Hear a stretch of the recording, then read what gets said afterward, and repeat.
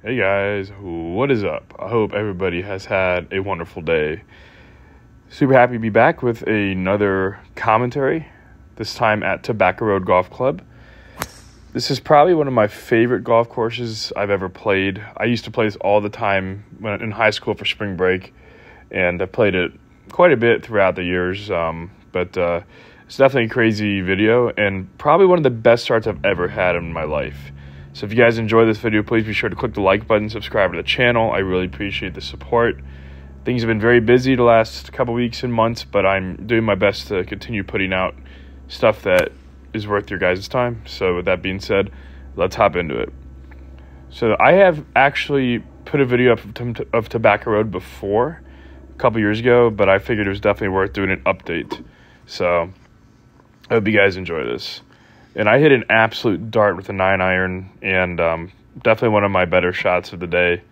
I've been putting in a ton of work on my golf game, and it's been a really cool year because I feel like I finally reached a place where I can really be in a great place with my speed for long drive. And for reference, I actually went 240 ball speed in a speed session the day before this seven different times, including my last four balls of the session. So um, didn't quite push my record any higher. I topped out at 240.8, and my record is currently 241, 241.6. However, at the time of this recording, the day after tomorrow, I will be making a push for it. So who knows? By the time this video goes out, there might be a new record. But my point in saying that is, you might see a couple pretty tight swings, like that one you guys just saw there. Um, that's definitely a result of a lot of lactic acid having been built up from you know swinging as much as I was the day before. But it's really cool because I feel like I'm still able to play good just despite having had that speed session. So that's really exciting. And by the way, let me know if you guys like this um, transition. I thought it might be cool on shots that are maybe inside 150 yards. Since you know I'm filming in 4K, I can zoom in, and you guys can see the ball actually land.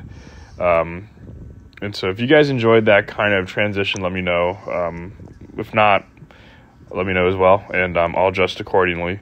But uh, just thought that might be something cool to mix in there. You guys can let me know what you think. But uh, a little bit long, but got about 10 feet, and this ball just jumped straight left off the face. I think it might have been sitting in a bit of a depression that I wasn't aware of. The one thing I've been noticing about my game over the last uh, couple months, as I've continued to be able to work at it, my ball striking has been the best it's ever been in my life. I would even wager to say it's better than when I was in college. But my green reading just isn't where it needs to be. So aim point is probably going to be very important for me to work on, as well as getting a caddy at some point as I play more competitive events throughout the year. My plan this year is to play more competitive events and intermix it with my long drive competitions um, and just kind of balance that out as best as I can. And uh, it's actually pretty good to film the YouTube stuff too because it kind of keeps me it, what it, what this does, I will send many of these swings to my coach, um, Bernie Najar out of Caves Valley. Shout out to Bernie. Um, and it's really cool because we can we have a ton of video and we can really analyze these swings. So it's great to film for content, but also has a multi-purpose um, where I can send him, you know, my swings and we can look at a couple things that I was doing good or bad on each given swing. So that's definitely very helpful. So one of the things I had to adjust to pretty quickly, and you guys will see throughout the video, I do struggle to adjust to it. Is these greens are a little slow, still coming out of the winter season, so it's definitely understandable. Um, but I was pretty impressed with the condition this course is in overall, and um, you guys definitely want to check it out. It's in Sanford, North Carolina. If you're ever in the Sandhills region near Pinehurst, go to the play here. I mean, it's really just very unique golf course, and you're not going to find anything like it anywhere else. So on hole four, 200 for the day, off to a great start. Another par five. Probably one of my best drives of the day right here. Just absolutely pummeled this. This ball didn't move more than two yards right to left. And when it's, uh, you know, I could probably have carried that bunker a little more. But I'll be honest with you guys, my speed was probably a little down today just because, as I told you, I had that speed session the day before and I was toasted when I woke up this morning well, I guess the morning I played this this course. So, you know, probably could have gotten a little more out of it if I was a little more fresh, but this definitely works pretty good. So just trying to play a slinging draw in here And I don't know why, but you guys will see it land just a little bit right of the pin on the back of the green. I don't know why it flew so far. I thought it was gonna, um, I thought it was gonna be right on the money, but for whatever reason, the ball kind of flattened out as it descended. I could tell right away when it was in its apex, it was gonna be a bit long, but I like seeing the direction being good. I can work on and I can live with missing my number, you know, like in terms of how far I'm hitting it. If my direction's on, I know that my swing is good. So that's kind of what I took away from that. And for this putt again, common theme, just leaving it a little short. Actually, this was actually a pretty good pace, so I take that back. But you will notice that from time to time throughout this round. So got about a three footer. I know the snaps to the left pretty good. I guess I, so, but it went dead straight, and I got away with it. So snuck that one in the corner. So on to the next hole, drivable par four, pins up there in the left and obviously you can certainly lay up, but uh, you guys didn't come here to see me lay up, so we're gonna send this one. So I'm gonna try to favor the right side of the green here, so there's more room for me to miss. I kind of came over the top and pulled this one, but I got away with it because I didn't have much uh, side spin on it. So this will catch the left left corner of the green, just gets on top of the shelf. You guys will see how close this was to sliding all the way back. So you can see the tee there and see that false front. So my ball is right on the edge there. If that was maybe another two yards short, it's going to roll all the way back down. I would have definitely had a fun chip. So I was kind of watching it because I knew from the tee, because I could still see the ball, it hadn't made it all the way back to the edge of that, to the back of that green where the pin was. So it's definitely uh, sitting on that uh, edge a little bit. Had the greens been cut tighter like they are in the summer, that might have rolled back. So I will take that for sure. So again, just trying to get a little bit of pace on this putt, a little bit short and right, but not horrible.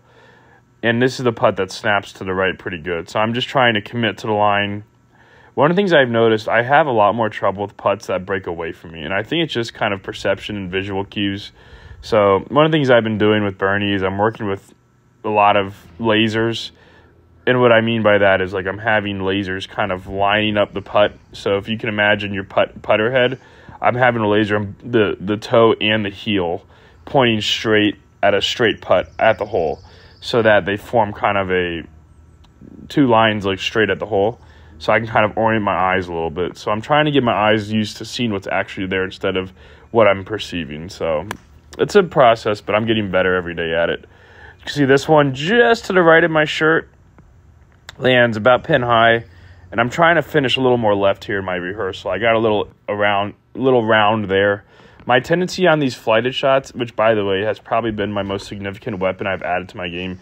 And by the way, that was I hit an extra shot just because I wanted to try to tighten that up a little bit. So that's what that that was that ball you just saw there. But uh, I have a tendency to get a little round with my flighted shots because I can kind of throw the club inside and try and, and get a little scoopy. You can see my ball was right in the pitch mark, so um, definitely didn't move too much.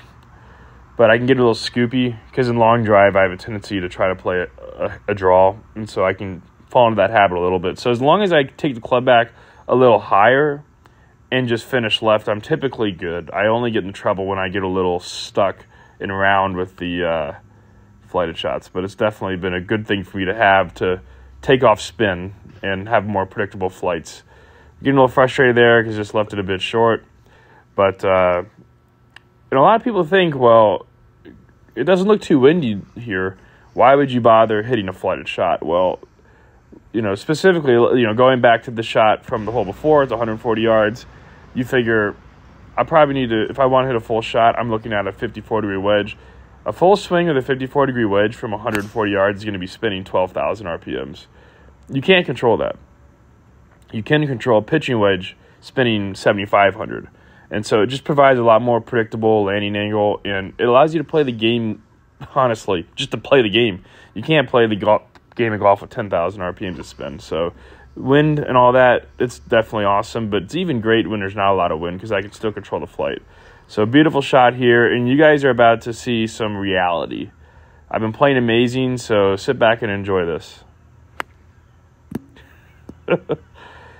I was just that was a hook lie, also uphill, and I just was so uncomfortable with that shot because it was a tight lie, and I knew the way it's set up, it's just a weak spot for me hitting into a hook lie uphill because it just makes me want to dig right into the fairway. So it's just you know where my game is, and that's one of the reasons I'm not on the tour. But I can also see myself fixing these things. They're very fixable, and I hit a couple extra shots. Um, you see one extra ball there. I wanted to throw another one down after I hit that shot just to um, hit it again. But uh, my second shot is the one closer, so the one that's furthest away was my first one after I already had bladed one long. So it's good to see that I was pretty tight there, and the distance dispersion is pretty good. It's just a matter of getting my low point on absolute lock so that this stuff never happens. But it happens to the best of the guy, best players sometimes too.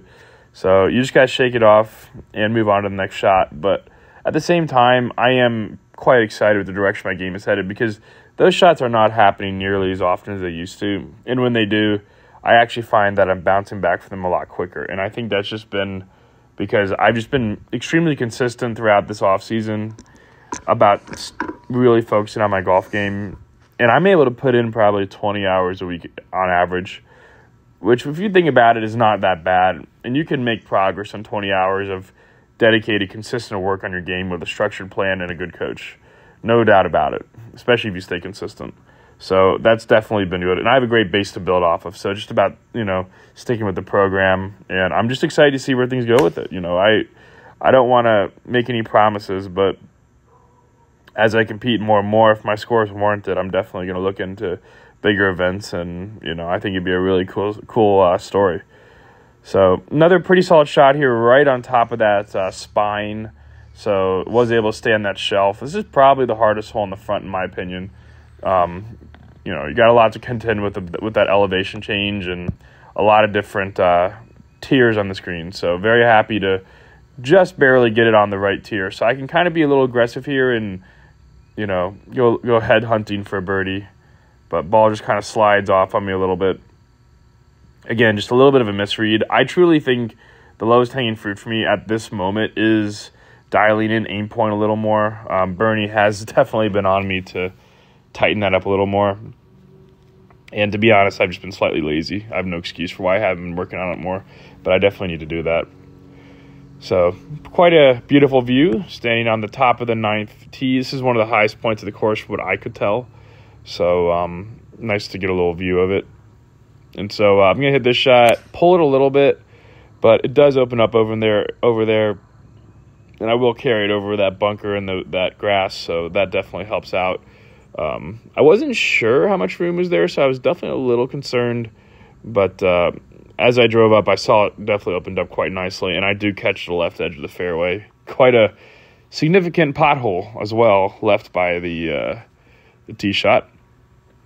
So, because the pin is on the back right corner, I will not have tree trouble. But this is quite a funky green, um, no more than 15, 20 feet wide, and probably about 100 feet long. So definitely an interesting little hole. And I get stuck horrendously here again. I I barely get away with it. I do catch it a bit heavy, but you see it land right in front of the flag and kick left. So a bit short, but it funneled down nicely. So I got away with it. As you can see, really narrow green, but uh, we're still in position to try to give birdie a go and finish off this nine strong. So got about probably 40, 50 feet here. Actually, quite a straightforward putt. This is a very easy green. It's just very long, so this isn't that hard of a hole when you think about it. But uh, yeah, I have about three feet left here to wrap up my round. And uh, right in the middle for a 2 under 33. So I hope you guys enjoyed this video. If you did, please be sure to subscribe, like the video. Let me know where you guys want me to play in the future. And I will see you guys next time.